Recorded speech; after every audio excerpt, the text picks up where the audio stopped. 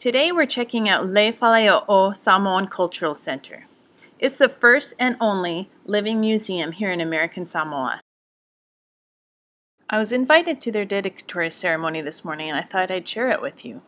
I'm going to apologize right now though. I don't understand enough Samoan to follow along very well, so I'm sorry to anyone who does speak the language if the video clips start and end mid-thought.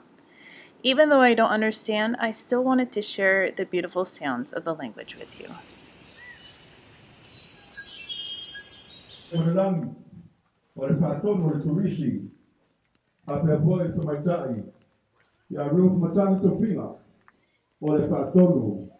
o le official. O ia, o tō mbalu, o le aleo o ese kom salanga ni.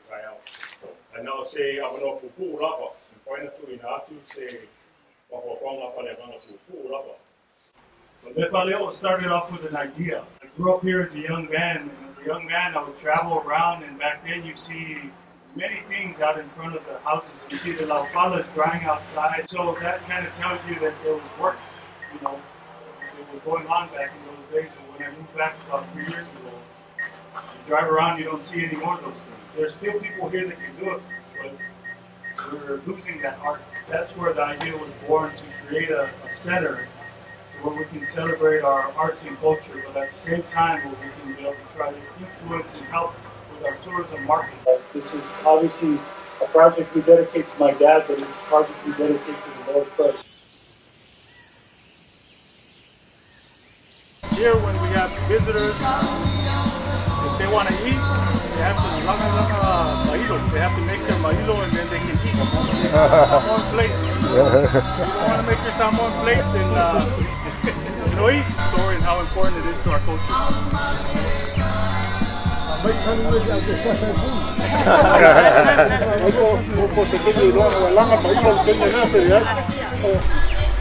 Maybe the most important artifact in our culture, the Yekoma, so there's a lot of stories and things that we can talk about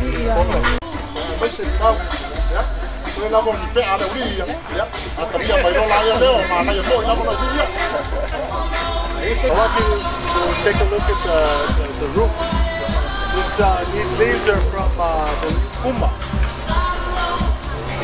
Back in those days, we had a lot of yeah, okay. But nowadays, we hardly have any. This is one of the most challenging parts of our, our, our building because we have to look all over the island. Now since we found this found the seeds, now we planted like a hundred trees on the land. So that way we revive the population. It's Not only reviving some aspects of our culture and continuing that, but our plant population that supports those things. In the past, we didn't use nails. Everything was bound by apa. Everything we used to bind, to make tools, to make hooks, to make your, your, your gripping on the on your war weapons, all the apa. Apa is the elongated, the elongating you, because you can get the strands. And it's uh, you know like everything else, it's a it's a very uh, long process to create. Um, you have to soak the, the new, you can't use the pulu like the, the, the, old one. You have to get the young ones. And you have to open them up and take them to the, the ocean and soak for, for three weeks.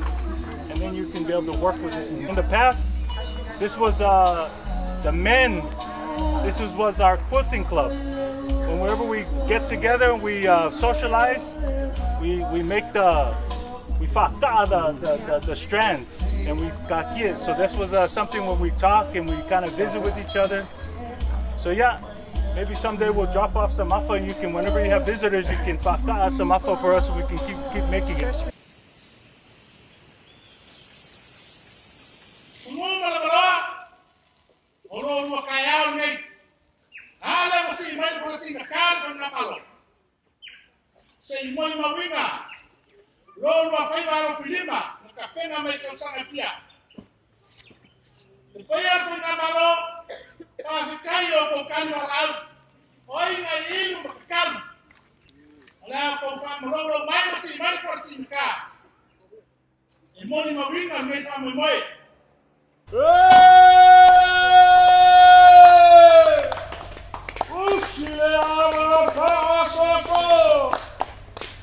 Fluminense, soy Sonia da Fieto Marima, falei gol.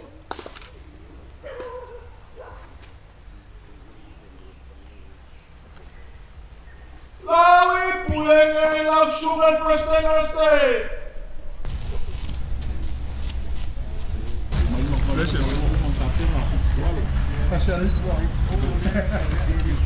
Ja, maar nog.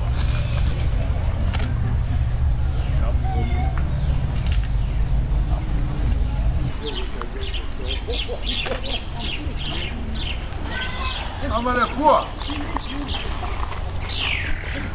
Amayo kayang, suwe kayang, samo! Ito!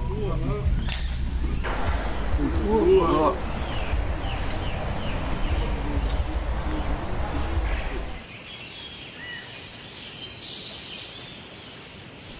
After the ceremony, Dave Tuinei, one of the co founders, was explaining the significance of some of the gifts that are given during the Se'e.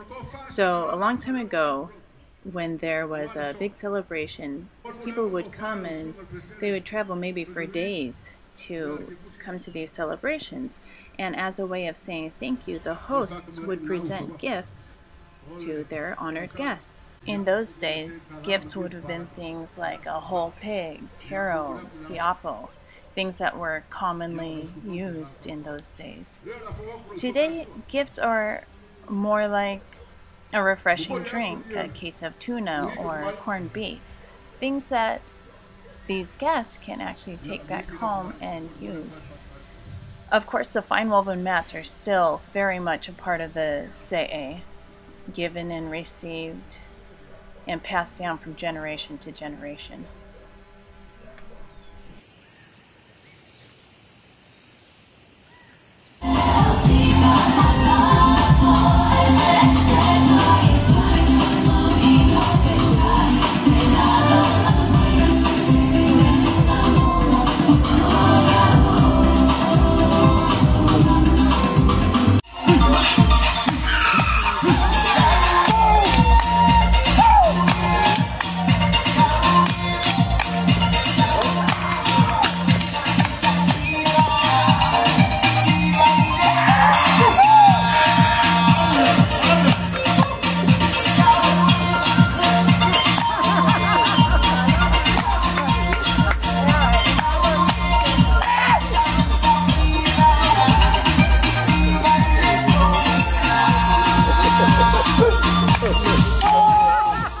There you have it. That is the dedicatory ceremony for the new Le Faleo'o Samoan Cultural Center here in American Samoa.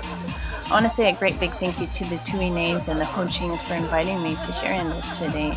There are things that I've seen before, but I had never understood the meaning. It was good to see why these things are done. And, and stay tuned. Next week I'll be bringing you part two. After the dedication, they had their grand opening where they opened it up to anybody to come and experience Le Faleo'o. Oh, really, if you're coming to American Samoa, make sure to check it out. This is what we were waiting for the whole time we've been in American Samoa. Just a way to see the culture and some of the traditions, things that you can't see just by walking around the streets or uh, just in your daily life here. Don't forget to hit that subscribe button and let me know if you liked this one. You can either give me a thumbs up or tell me in the comments. Until next week, bye.